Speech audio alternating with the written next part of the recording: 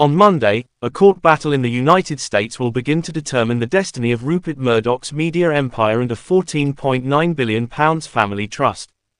The battle will pit 93-year-old Murdoch against three of his eldest children over who would inherit the most voting shares and control of News Corp and Fox News after the billionaire's death. Mr. Murdoch reportedly intended to alter a family trust established in 1999 so that son Lachlan could take control without interference from his siblings Prudence, Elizabeth, and James. The famous family was one of the inspirations for the enormously popular TV series Succession, which the Murdochs have always declined to comment on. Since the 1960s, Mr. Murdoch has grown his media company into a global media behemoth with significant political and popular influence. His two firms are News Corporation, which owns newspapers such as The Times and Sun in the United Kingdom and The Wall Street Journal in the United States, and Fox, which airs Fox News.